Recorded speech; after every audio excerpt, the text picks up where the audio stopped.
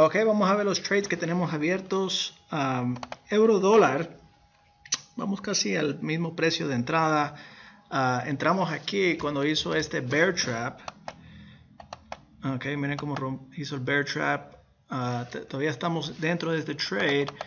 Si vemos uh, la línea de tendencia, obviamente aquí rompió esta línea a largo plazo, ha ido acumulando y ahora esperamos que va a ir a la baja. Obviamente los stop losses tienen que estar arriba de este alto uh, del bear trap. Desde ese bear trap hemos visto uh, que hizo un rejection candle aquí. Otro bonito bearish candle, ido lateral. Estoy esperando que va a continuar y va a moverse bien fuerte bajista. Todo lo que ha acumulado aquí va a ir a la baja. Estamos tablas aquí, pueden ver como menos dos o tres pips okay, en este trade. Ah, si vemos el dólar canadiense, okay, es otro que seguimos dentro. Ah, este nos gustó, rompió esta línea de tendencia y aquí ha hecho un eh, banderín. Okay, si vemos aquí, vemos este movimiento lateral en este banderín. Ah, vamos a ver si rompe al fin a la, a la alza como estamos esperando. Este vamos menos 100 pips.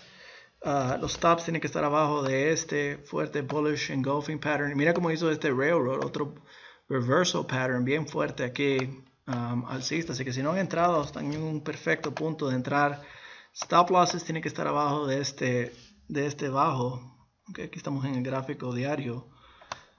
Y vamos a dejar que corra y rompa. Yo, yo digo, este va a correr bastantes pips. Es un trade a largo plazo, obviamente. Uh, donde está ahora no me sorprendería si corre mil pips. Ok, euro eh, australiano.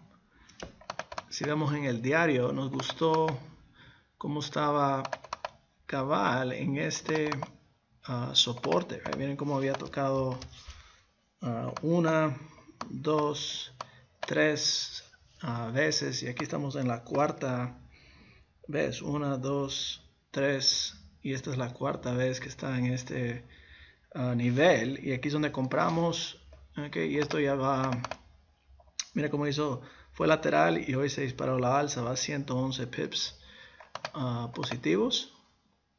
Tenemos el australiano canadiense ah, ese nos gustó con este trap candle okay, ha ido lateral y ahora ya está empezando a, a bajar aquí lo vimos en, en un alto importante.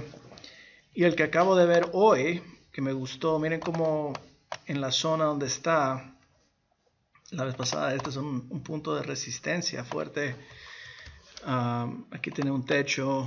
Aquí hizo el fuerte bajón y ha regresado a esta área y hizo un trap candle. Por eso me gustó y ha ido lateral de este trap candle. Así que creo que va a continuar um, ir a la baja desde este punto. Así que Uh, aumenta los stops, tiene que estar arriba de este alto y este alto para estar fuera de la zona del market.